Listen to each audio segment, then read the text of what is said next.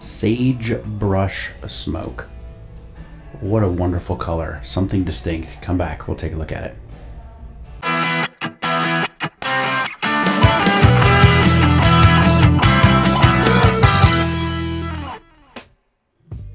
All right, folks, like I said, sagebrush smoke. It's really hard to say.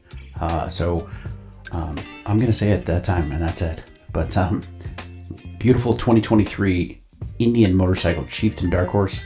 Again, sagebrush smoke. You want a, a, chieftain that stands out. This color stands out. It's not uh, flashy, but um, it's definitely different. So if you want to park this uh, next to uh, some other bikes, this will definitely get some looks. It's a like a forest green matte. Um, again, comes with the bags. Um, love the way the exhaust drops out of this. That black exhaust, kind of hidden there a little bit. Um, but beautiful, beautiful motorcycle.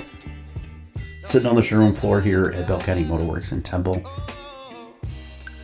I'll just um, be quiet and let you guys take a look.